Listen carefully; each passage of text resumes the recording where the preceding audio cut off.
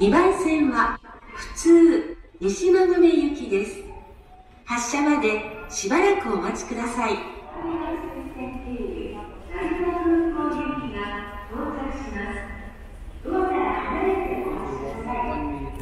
次は2階に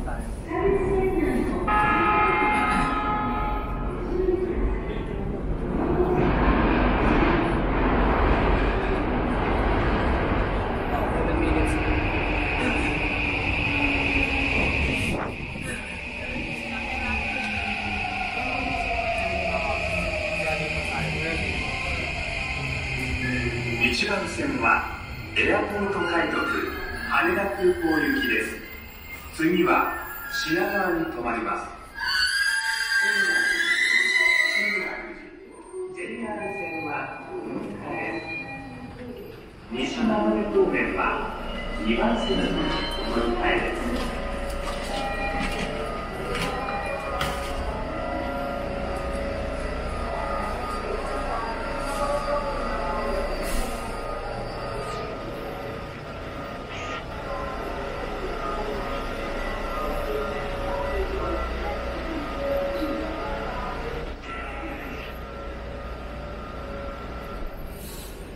1番線はエアポート快特羽田空港行きです次は品川に停まります発車までしばらくお待ちください